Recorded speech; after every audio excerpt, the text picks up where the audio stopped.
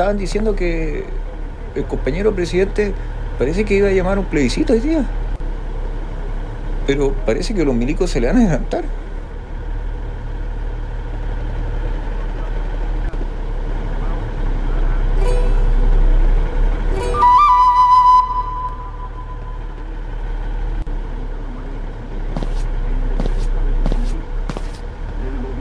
Buen día.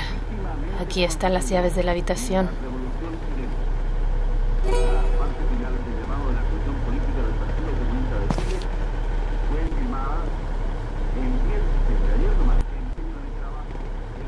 Sucede? ¿No se ha enterado?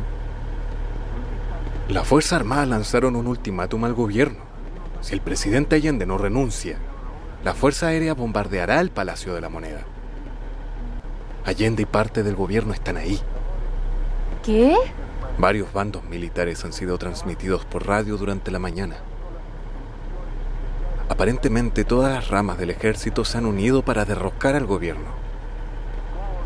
Van a intentar lo mismo que en junio, pero bombardear la moneda. Lo que se escucha desde la calle no son los enfrentamientos callejeros de los últimos meses. Son enfrentamientos entre el ejército, escoltas y agentes del gobierno.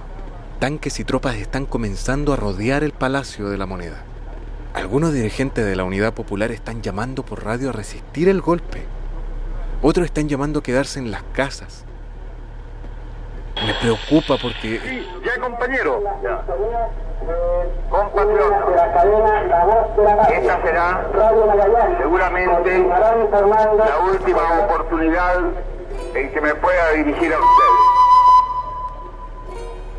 La Fuerza Aérea ha bombardeado las torres de Radio Portales y Radio Corporación.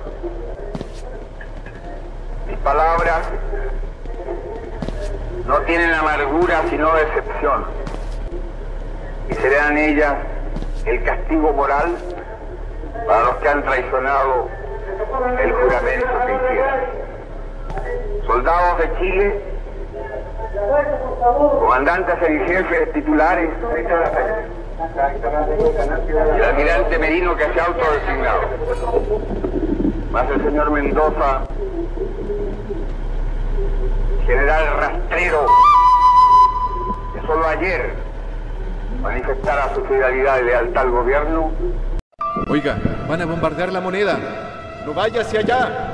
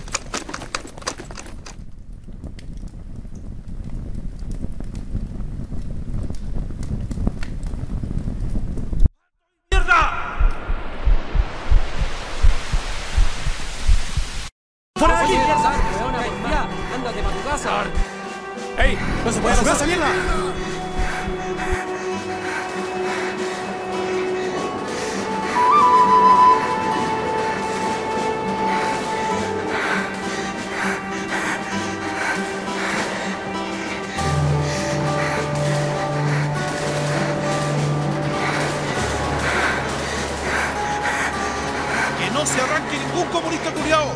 Cuando den la orden, echamos estos huevones a los camiones y nos vamos. ¡Los vamos a eliminar a todos! ¿Escucharon comunistas de mierda?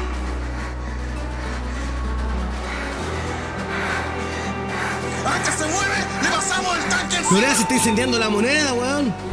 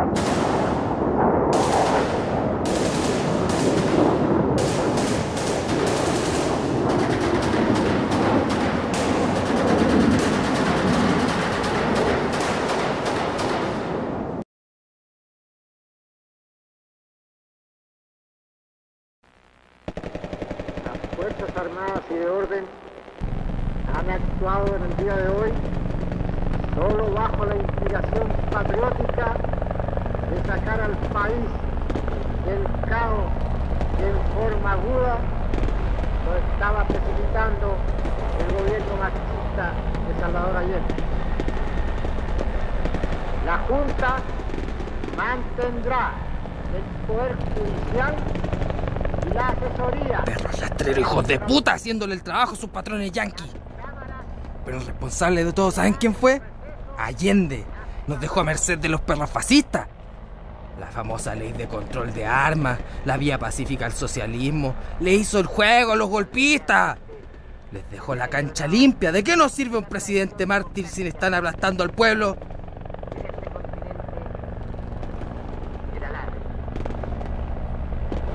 ¿Qué vamos a hacer, jefe? Bueno, sucedió lo que veníamos diciendo hace tiempo. El fracaso del reformismo posibilitó el ascenso de los gorilas financiados y entrenados por los buitres de la CIA y la Casa Blanca. Harta gente de la Unidad Popular y sus partidos se están refugiando en embajadas para poder salir del país. En nuestro caso, el Comité Central decidió que todos los comirep tenemos que quedarnos acá. Hay que articular la resistencia contra los gorilas, compañeros. Me parece bien, no podemos abandonar nuestro país como los pendejos cobardes que están en las embajadas. Con lo que tenemos hay que darle plomo a esos milicos vende patria. Eh, espérate. Pero, Una cosa es que nos quedemos acá, pero no están las condiciones para iniciar acciones militares.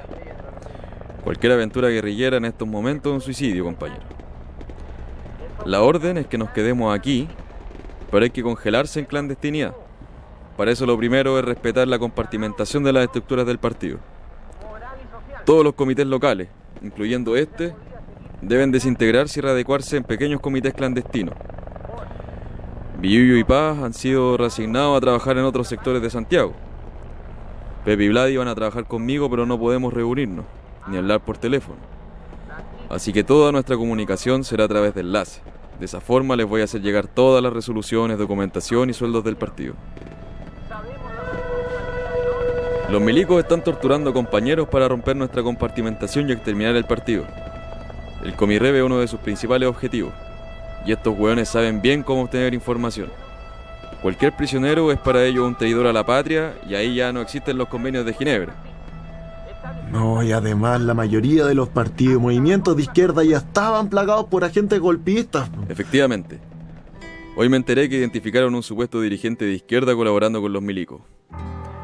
Poco después del golpe, este hueón apareció en la ermita identificando compañeros que fueron tomados prisioneros ahí mismo.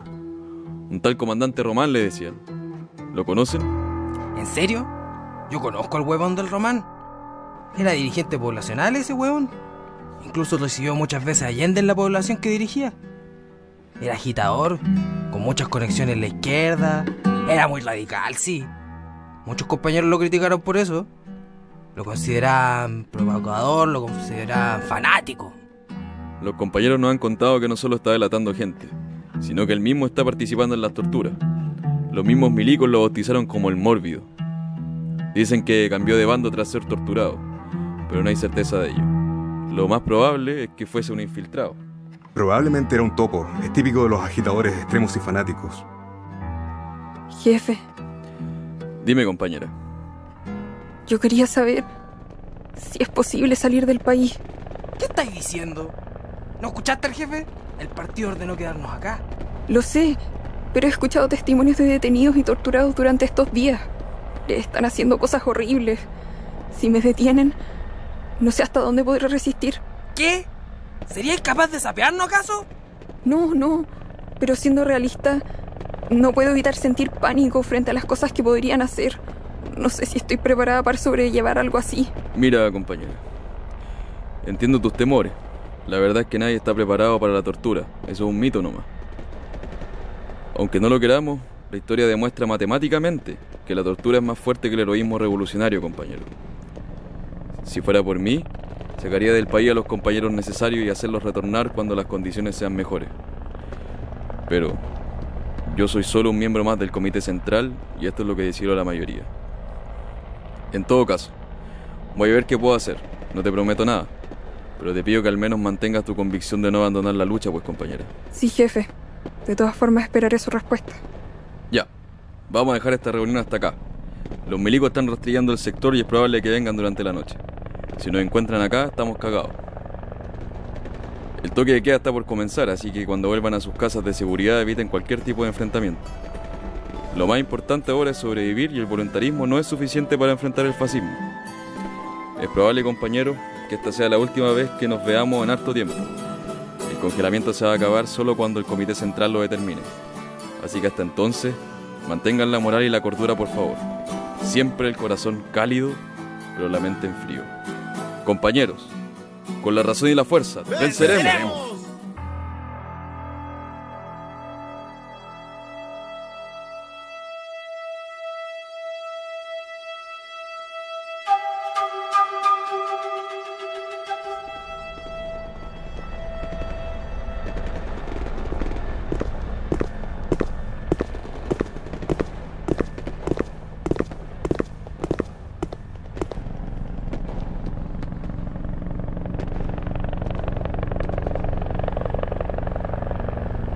Pásale a tu enlace esta hoja con el código para el contacto.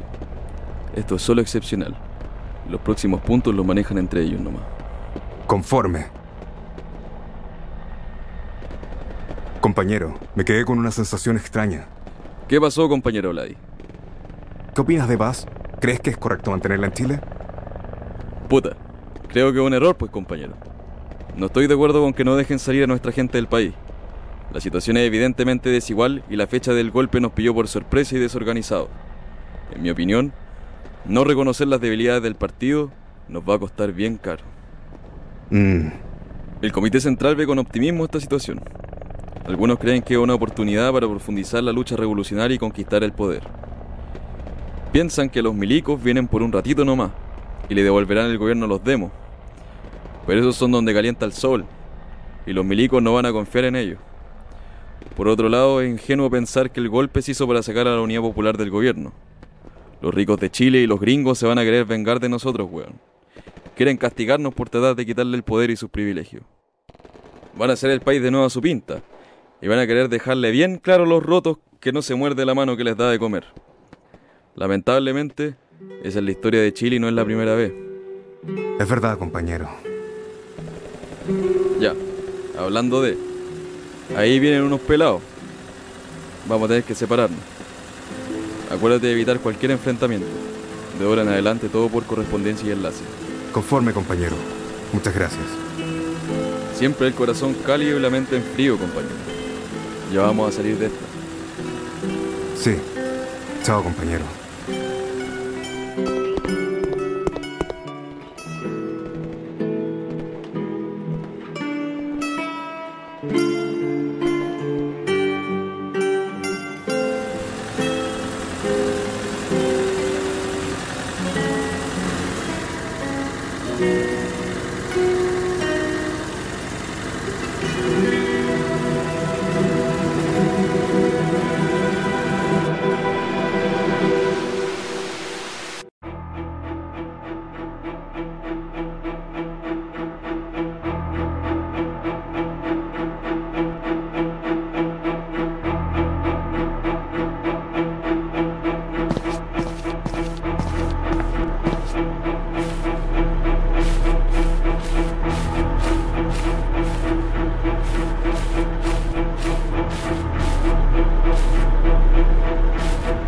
Última vez, viejo culiao, ¿dónde chucha están las armas?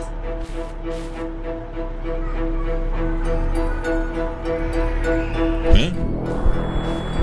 ¡Para, conche tu madre! Ya, Juan, camina derechito.